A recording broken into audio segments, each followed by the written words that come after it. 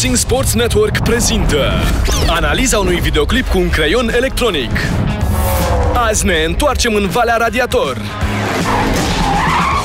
Fulger McQueen parcă a mers cu buldozerul prin bietul oraș și acum este obligat să facă curat. Și-a câștigat o întâlnire drăguță cu Bessie. Uh, mamă, o să lucrez cu Bessie! Mi-aș da manivela pentru asta! Bessie?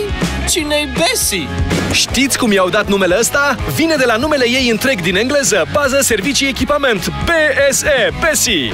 Poate credeți că i-ar prinde bine niște îmbunătățiri? Oh, nu, nu, nu! Aveți în față cel mai puternic, dur și cald utilaj de pavaj din lume. Îi mai trebuie doar peste 700 de cai putere de care să se lege. Dar asta n-ar trebui să fie o problemă acum că Fulger e în oraș. Deci o să te cuplezi frumușel cu Bessie și o să conduci cu grijă.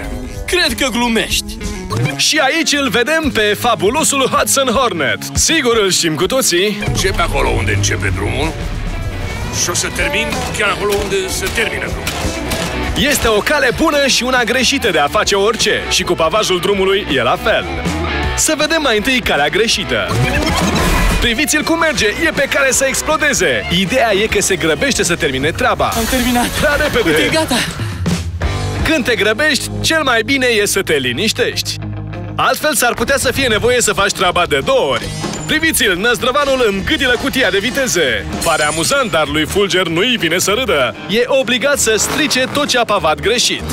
De fapt, acum e nevoie de și mai mult efort ca să corecteze treaba. Să ne întoarcem la lecția de viață cu care Doc i-a schimbat perspectiva lui Fulger. Când e ultima oară când te-ai gândit la altcineva în afară de tine, băiete? Oh, da! Partea asta mă emoționează mereu. Așa ziceam și eu. Cuvintele potrivite la locul potrivit pot trece printr-o capotă groasă încăpățânată.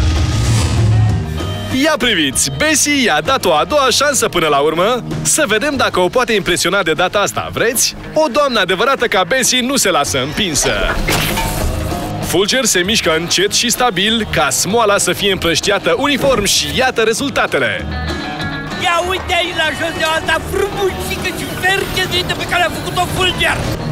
Cred că Fulger a învățat o lecție prețioasă. Când ești motivat să-i ajuți pe alții, e mai ușor să faci lucrurile cum trebuie. Toată lumea se bucură de noul asfalt. Fantastic! Îmi dau lacrimile pe parbriz. Are cineva niște ștergătoare bune?